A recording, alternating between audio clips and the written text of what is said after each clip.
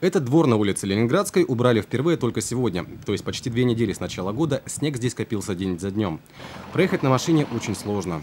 В новогодние праздники было все ужасно. Заезжали сюда несколько раз, застревали.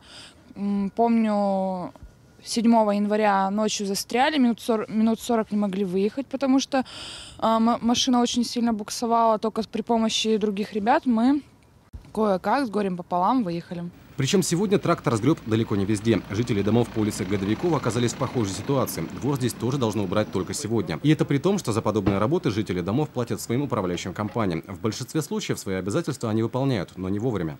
Недовольны не только жильцы. В Комитете по контролю в сфере благоустройства накопилось 109 претензий.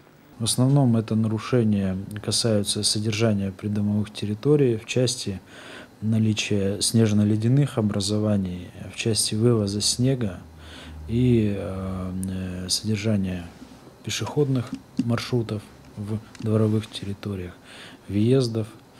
То есть э, значительная часть нарушений сводится к этому. Несколько таких предписаний не выполнены с прошлого года. С начала этого жалоб поступило немало. Аномальные осадки жизнь коммунальщикам не облегчают.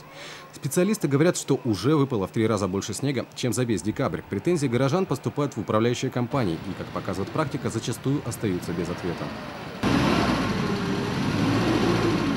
Чтобы заставить управляющие компании выполнять свои обязанности, нужно жаловаться. Сначала в сами УК. Если ответа в разумные сроки нет, можно требовать возврата денег за некачественное обслуживание.